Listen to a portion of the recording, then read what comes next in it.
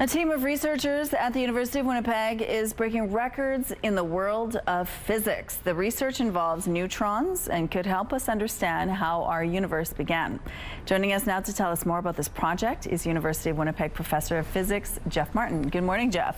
Good morning. Thanks yeah. for joining us. Now, yeah, congratulations. This is huge. Thanks. It is huge, yeah. Because you broke a Canadian record with this discovery, right? Yes. Well, it's our record. So, yeah, we broke our own record, yeah. Okay, so, so we, we were the record holders already. Well, that we did even better. So exciting and so cool, yeah. involving many Winnipeg students in, as part of this uh, project. Absolutely, yes. So we we've had four students from the University of Winnipeg that have been, been involved in this research, uh, traveling out to Vancouver, where the neutron source is that we made and learning to operate it. And the way that uh, students from, from Winnipeg can get involved in this research is to enroll in a physics class at the University of Winnipeg.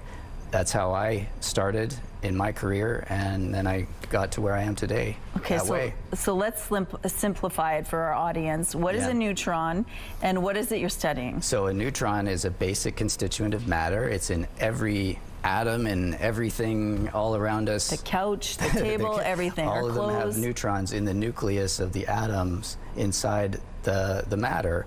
And what we do is we take the neutrons out of the nucleus. They then become free neutrons. Uh, but they're really hot when we take them out. And so we need to cool them down using a very fancy kind of refrigerator. Mm -hmm. And then when they're that cold, we can put them inside a bottle and trap them there and then study their properties really, really precisely. And so what is the experiment that you did that is breaking records? So the one the one that we did was just to make a lot of neutrons. So we can now put in a bottle lots and lots of neutrons, more than we ever could before.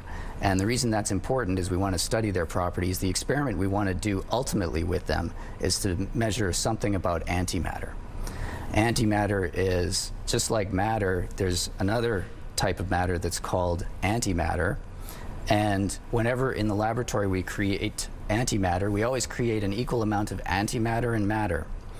And uh, we think that in the early universe, there were equal parts an antimatter and matter back in the early times in the universe. Mm -hmm. But nowadays, when we look around, we don't see any antimatter. We just see regular matter.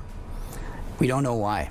Hmm. So how we got from equal parts matter and antimatter to no antimatter is a big mystery of physics, and that's what we're trying to discover. And our experiments on neutrons could one day lead to uh, an answer to that. So you broke your own Canadian record. Now we you're did. looking at potentially breaking a world record. We are poised to break the world record. So we have an, one final upgrade this year that we're trying to make. We should be able to boost the number of ultra cold neutrons that we make by a factor of 50, which would put us way ahead of the game like orders of magnitude higher than everybody else in the rest of the world.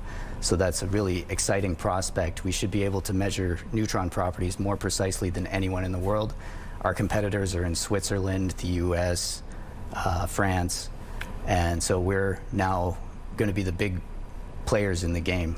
So once you have this information, this could uh, help not only discover more information about how our universe was created, but you're talking it could help in medicine as well. Yeah, so we a lot of the technologies that we develop, so we always have to make new technologies to in order to do the experiment. We have to do something that's almost impossible, and in order to do that, we need, always need to develop new things in order to make progress. And often those new things are really useful for other purposes. Mm -hmm. One example is I have a student, Wolfgang Klassen, who works on magnetometers. So these are magnetic field measuring devices.